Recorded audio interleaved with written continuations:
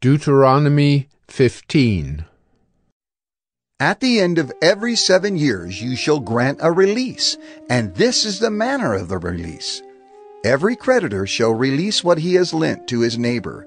He shall not exact it of his neighbor, his brother, because the Lord's release has been proclaimed. Of a foreigner you may exact it, but whatever of yours is with your brother, your hand shall release. But there will be no poor among you for the Lord will bless you in the land that the Lord your God is giving you for an inheritance to possess. If only you will strictly obey the voice of the Lord your God, being careful to do all this commandment that I command you today.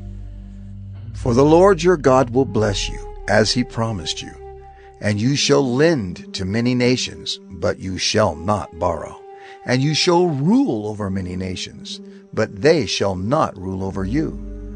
If among you one of your brothers should become poor, in any of your towns within your land that the Lord your God is giving you, you shall not harden your heart or shut your hand against your poor brother, but you shall open your hand to him and lend him sufficient for his need, whatever it may be.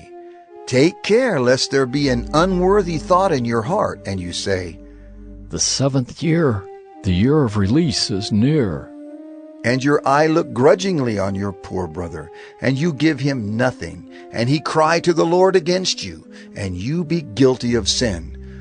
You shall give to him freely, and your heart shall not be grudging when you give to him. Because for this the Lord your God will bless you in all your work and in all that you undertake, for there will never cease to be poor in the land. Therefore I command you, you shall open wide your hand to your brother, to the needy, and to the poor in your land. If your brother, a Hebrew man or a Hebrew woman, is sold to you, he shall serve you six years. And in the seventh year you shall let him go free from you. And when you let him go free from you, you shall not let him go empty handed. You shall furnish him liberally out of your flock, out of your threshing floor, and out of your winepress, as the Lord your God has blessed you, you shall give to him. You shall remember that you were a slave in the land of Egypt, and the Lord your God redeemed you. Therefore I command you this today. But if he says to you, I will not go out from you, because he loves you and your household, since he is well off with you, then you shall take an awl and put it through his ear into the door, and he shall be your slave forever. And to your female slave you shall do the same. It shall not seem hard to you when you let him go free from you, for at half the cost of a hired servant he has served you six years. So the Lord your God will bless you in all that you do.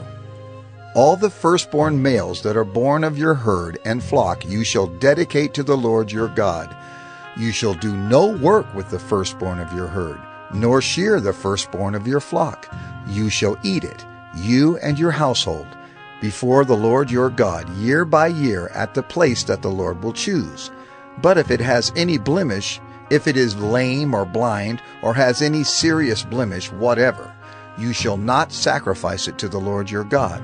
You shall eat it within your towns. The unclean and the clean alike may eat it as though it were a gazelle or a deer.